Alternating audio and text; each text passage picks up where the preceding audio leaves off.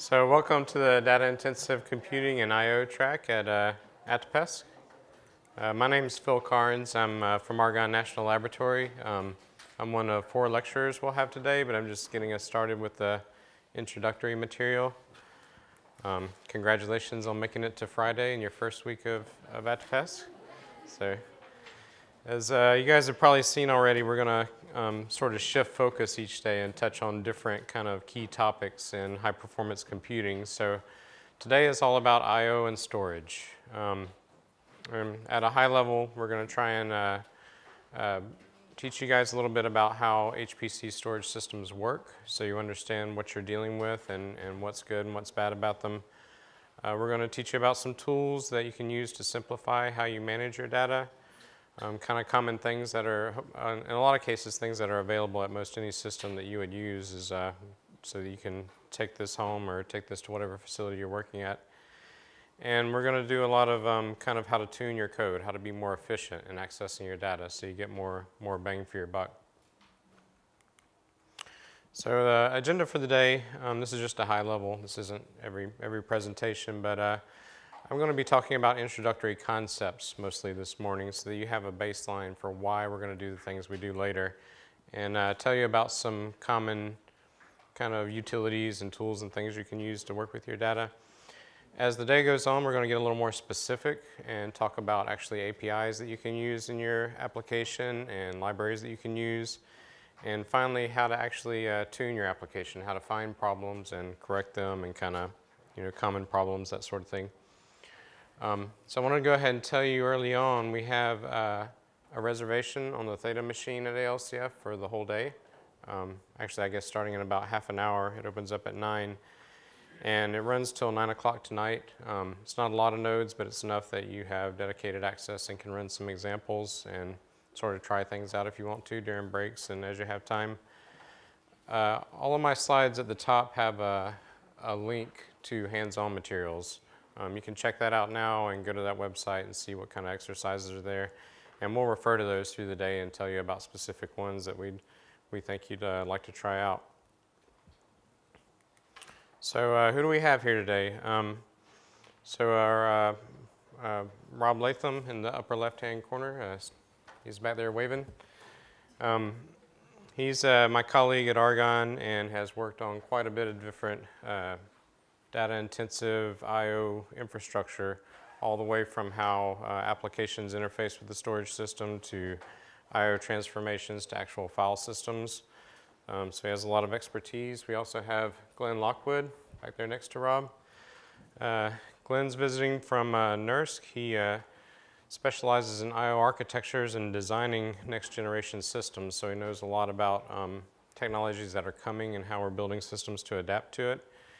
And he's done a lot of work that kind of relates to that, like how to measure storage systems, how to benchmark them and find out their performance, um, and how to kind of inspect what they're doing. Uh, Quincey's going to be joining us a little bit later, so I can't, can't make him stand up and wave, but um, Quincey Koziol is also from NERSC, and he is an expert in the HDF5 uh, high-level library, if some of you are, are familiar with that. And um, he'll be talking about that, and if you have any questions, he's the guy. Like, you're not going to find anybody else on earth that knows more about, about that stuff. Um, and then myself, I'm Phil Carns again. I'm, I'm at Argonne, uh, work with Rob, and have done a lot of projects in different parts of the storage system. A lot, a lot to do with understanding storage systems and simulating them and improving them. So together, what uh, the kind of things that your lecturers do during the day um, our ultimate goal is to take all this kind of computer science, uh, you know, hardware technology and make it available for uh, use in science domains. So, you know, we can't just uh, buy a few thousand hard drives, throw them on the floor and say, have fun. Um, there's a lot, lot that goes, you know, in between that and making, uh, making the math and science happen. And so the things that we're kind of experts in are, uh, you know, running actual data centers, keeping things up and operational, um, kind of characterizing storage use so we understand what applications and users are doing and can, you know, handle that better. Uh, we model storage systems so that we can predict what things will be like if we make different changes. Um, a lot of optimization and improving software and just generally trying to make this the capabilities of the hardware available to, to you guys. So the, the first sort of topic we're going to talk about this morning is just principles of high performance computing I.O. Um, so for the next 20 minutes or so, we're not going to talk about any specific piece of software. This is more like how the systems work and why we're going to do the things that we do so you have some background. So HPC-IO is all about storing and retrieving scientific data on a high-performance computing platform. It's, it's that simple. Um, what this always revolves around is a parallel file system. Um, a parallel file system is like any other file system, but it's optimized for uh, quickly storing and accessing enormous volumes of data, so gigabytes, terabytes, petabytes, that sort of thing. And to make these things work well, we have to coordinate a lot of different hardware components, uh, some system software, and applications, of course. And if we do a bad job of this, um, you're not going to make good use of your core hours, the time that you have on a machine. So if you have a thousand nodes um, to compute with, and they spend 30 seconds waiting on data, that's you know 30 times a thousand seconds that you've just lost um, from your productivity. So we want to try and minimize that. So a lot of the things we're talking about are how to take care of parallel file systems and, and make them happy and get the most out of them. So like I was saying, a parallel file system looks like any other file system like you have on, on all your laptops with uh, files and directories, but they don't act like normal file systems. And so uh, a lot of what I want to get across this morning is how they're not like normal file systems so you know what things you do on your workstation or laptop or uh, any other system, how you might want to adjust that to make best use of a high performance computing platform. And we'll, uh, as the day goes on, we'll get a little more specific about how to achieve kind of getting in the right zone. So the, the first thing I want to talk about that's unique about uh, high performance computing I.O. is that when you log onto a system, you have a lot of different storage systems to choose from. So if you'll uh, be patient with me for a minute, I've, I've gotten uh, a metaphor here. If you uh, saw a lot of different vehicles sitting outside and you wanted to pick one that was good at a particular task, like you wanted to carry a lot of material, you wanted your buddies to be able to ride with you, you wanted to just be really fast, um, you wanted to go somewhere quick that's nearby. If you look at a bunch of vehicles, it's obvious what they're good at and you know which one you're going to pick, right? I mean, they, they just look like they're going to do what they do. And so how does that map to what you see on a HPC system when you look at the file systems available. Um, these things in red are, are actually storage systems that are available at NERSC and the ALCF on the systems. And they have all different names, project, projects, local, global.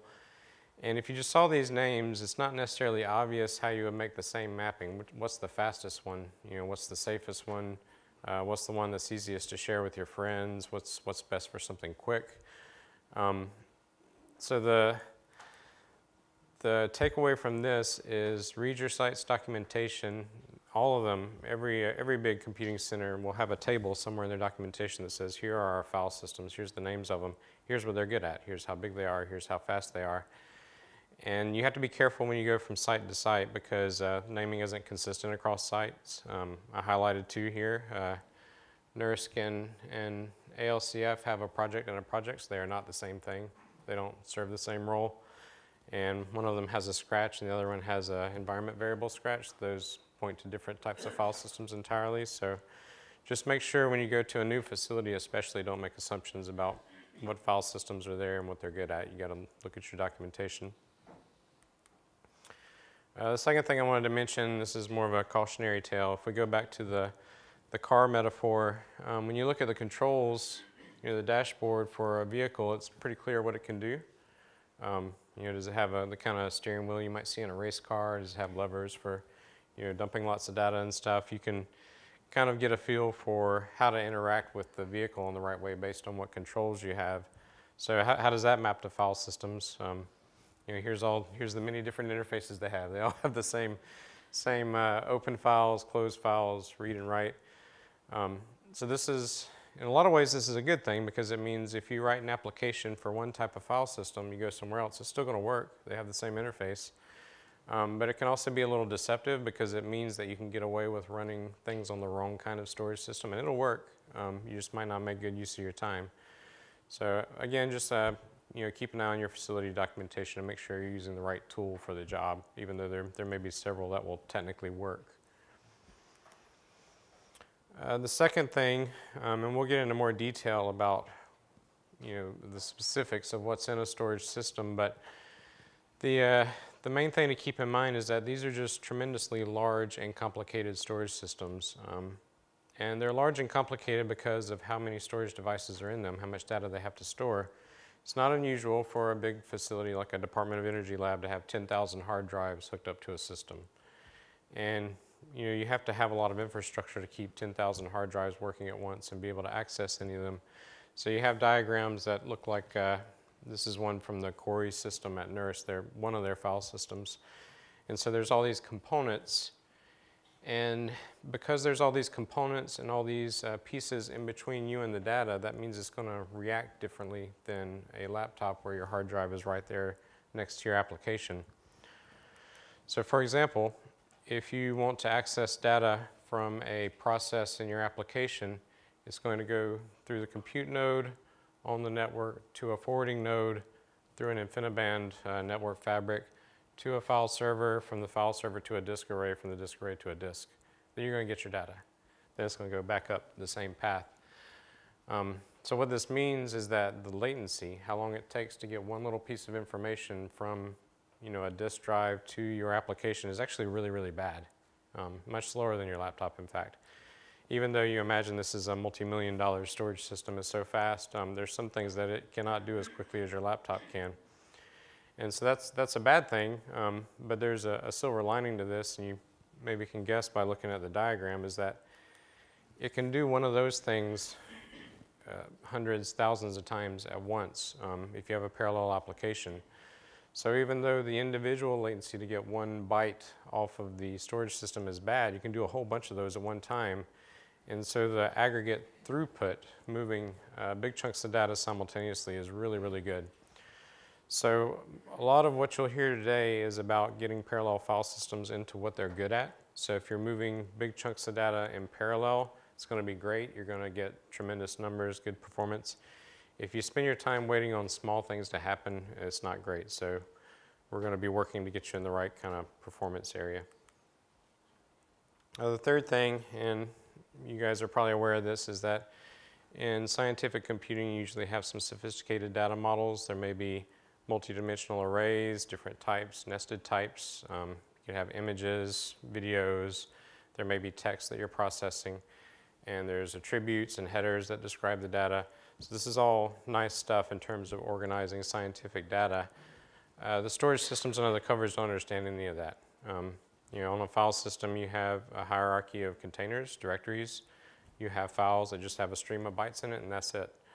So a lot of the things that we do are about mapping these kind of more sophisticated scientific data models into something that the storage system can deal with effectively.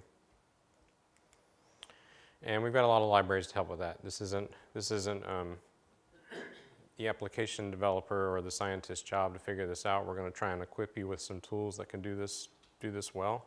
We'll talk about a few of those today. Uh, the fourth thing I wanted to mention is um, not only are there a lot of different file systems available at each site, probably, um, but each site is different. Um, high performance computing systems are very specialized and their storage systems are no different. At any given time, there's maybe half a dozen vendors that can build a file system that will keep up with uh, a large scale scientific uh, computing platform. And so what works best for one storage system is not necessarily going to be what works best for another.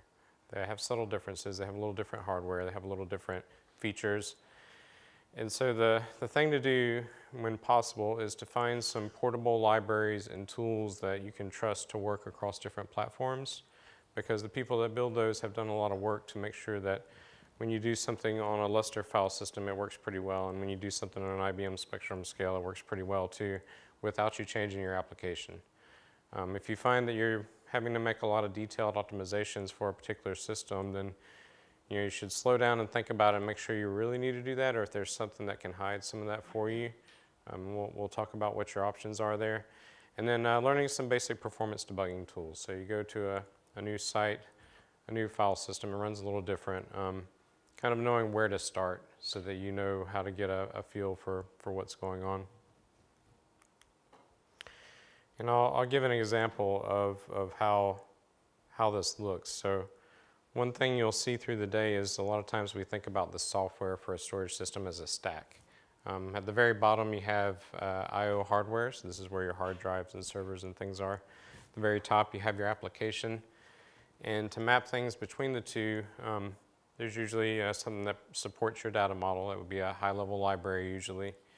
Um, you have transformations that kind of manipulate that data to get it to the file system. That's usually MPI-IO or maybe some forwarding software. And at the bottom you have a parallel file system. The parallel file system is the thing that takes all the hard drives and all the hardware and makes it look like one united thing. So if you were to look at what, are, what these things actually are on Mira, that's the, the biggest platform at the ALCF, um, at the top in red, you have things like HDF5, Parallel CDF, ADIOS, Silo, there's other things you could be using.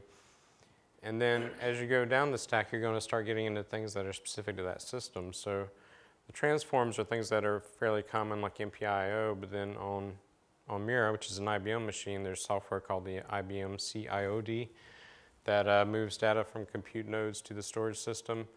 Um, it's got its own type of file system, this IBM Spectrum Scale or GPFS, you might hear it referred to also. And so things get kind of specific to your platform as you go down the stack. So what happens if you go to a different system? So we can look at another system that's also at Argonne Theta. Um, you might think they're similar because they're at the same place, but they're not necessarily that similar. Um, so as you go down the stack, things are different. The IBM CIOD is gone, and instead you have something called an LNet router. We might talk about that a little bit later. Um, you have a entirely different file system called Lustre, and the hardware is different. You're writing to a different file system. And so if you were uh, concerned about all of those details, you might be changing strategies for I.O. across uh, these platforms. But really, the top part hasn't changed. It's still HDF5, Parallel netCDF, ADIOS, whatever, whatever other libraries you want to use. So if you can use those things, they're working to try and make it work right regardless of what stack is up under it. So we're going to try and encourage you to pick common tools like that when, when possible. And then what does this look like in the future? Um, so new machines are coming all the time. And uh, if you're into uh, high performance data storage, there's all sorts of neat technologies that um, are always over the horizon. So we may have object storage systems, we might have non-volatile memory, there might be uh, key value storage systems. There might be all, all sorts of new file systems. But again, no matter what it is, there's going to be some common libraries on top. If you keep using those, you'll be still be doing the right thing when the new technology rolls out. That's what, what we hope. And then the, the fifth thing, the last thing, it's not, I don't want to go too long with the list here, is uh, performance variability. So no matter what platform you're on, what facility you're at, um, whether it's a university site or a government site or a commercial site, I.O. performance is not going to be stable. It just isn't. Um, there's a lot of reasons for this. Um, at the most basic form, if you have 10,000 hard drives, they're never going to perform the same way at the same time. Some of them are going to be faster, some of them are going to be slower, some of them that will change over time, some will become slower, some will become faster. Um, more importantly is the hard drives you're using are not yours alone. You know, if you allocate compute nodes, you get unrestricted access to those compute nodes. Those are yours while you're running your application and you know that nothing's going to interfere with it. Um, the storage system is not like that. There's one global, usually one or a few global storage systems for everyone and everyone's using it at the same time. So if you're the, the little fish on this uh, list of jobs here, you're the 512 node job and someone's running a 16,000 node job, they have a lot more links to the storage system and they can slow it down for you. Um, so, and not only that, it's not just jobs on your system, but there's probably other systems connected to it. So the project file system of the ALCF has uh, at least three, three compute resources hooked up to it. There's also wide area transfers to other facilities going on. There's archive access. So a lot of things can be touching your storage. Um, so the upshot is expect performance to vary. It's not, it's not strange if it does, that's just the way it is. Um, and what this means for, for you as you're trying to improve your application is that you need to take multiple measurements if you're really getting serious about understanding your I.O. performance. So I gave an example here from an old system called uh, Edison. It's, it's, retired now. But on Edison, we uh, ran 15 identical I.O. benchmarks um, on the same day. You know, nothing, nothing unusual about that. Uh, that was using 6,000 processes and just measured how long does it take to do the I.O. And we plotted it. So occasionally it was as fast as 50 seconds to get all the I.O. done, and sometimes it was as slow as 63 seconds. We weren't changing the application, we're just running it over and over again. And so you have to think about this if you um, learn something today and you're like, I'm going to make this little tweak, it's going to make it faster, I'm pretty sure. And you're like, let me check, let me, let me run a benchmark and see. If you made a change that would gain you five seconds of I.O. time, that's great. That's, that's an important thing to do. But if you just happen to run it again and the system was slower, you might not see that improvement. You may say, oh, those, those ATPES guys, they taught me something that didn't pan out. But uh, just, just be aware that the performance is going to fluctuate some, um, and it's beyond your control. There's, you can't really, can't really help that um, for the most part. Uh, later today, Glenn will talk about some capabilities that some systems have to help mitigate this, but by and large, you should, you should expect this. So uh, just to recap, the things that I kind of wanted to get across for you guys to understand about um, high performance I.O. at a high level. So above all, look at your documentation for your facility, not just general documentation for your software, but documentation put together by your facility about what their system is like. Um, when you can, move big data in parallel, involve as many processes as you can, involve as much storage as you can, get things going concurrently. Um, try not to wait, um, or importantly, try not to have all your processes wait while you're moving one little piece of data. That's, uh, that's a little tough. Um, use libraries that are appropriate for your data model that can hide some of this complexity and protect you with some performance portability as you go between platforms. Um, Going to learn some performance debugging basics. Um, we, don't, we don't expect everyone to come away from here as an I.O. expert, but we want you to know where to start so that you can kind of get a feel for what's going on.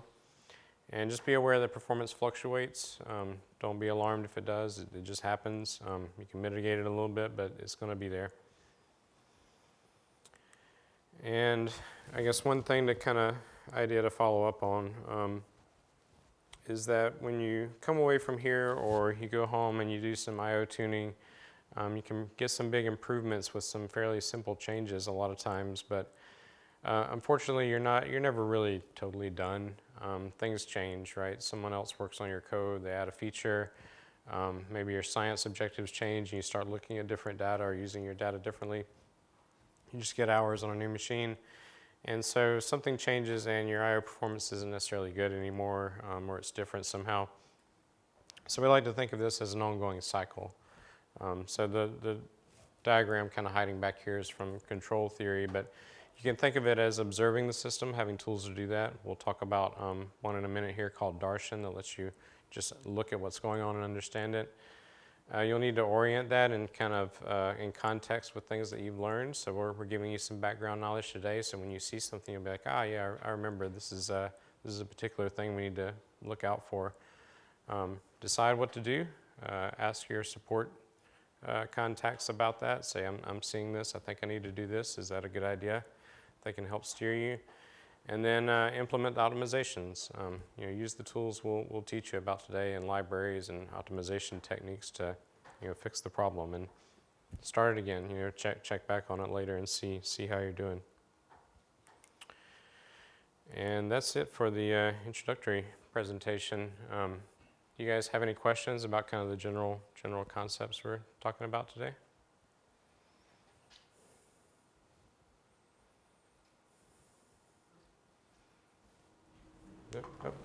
I think that this will be covered later uh, in, in detail, but um, I, the thing that I was wondering is basically like, just coming from a place of tons of ignorance about like I.O. hardware stuff, like, are the challenges it, or directions in I.O. hardware the same as for like the typical computing stuff about like heterogeneity or anything like that, or is it like more like old model or? Uh, Yeah, that's, a little bit of a tough question. So, in, in some sense, yes. Uh, Glenn is going to talk about that a little more this afternoon about some of the different things you might have. Um, I would say that uh, at a high level, storage systems have appeared largely the same for decades. You know, there there may be more um, heterogeneous hardware within it, but often the way you use it isn't so different, except for subtle changes. So, um, that's that's kind of the track we're on right now. I would say.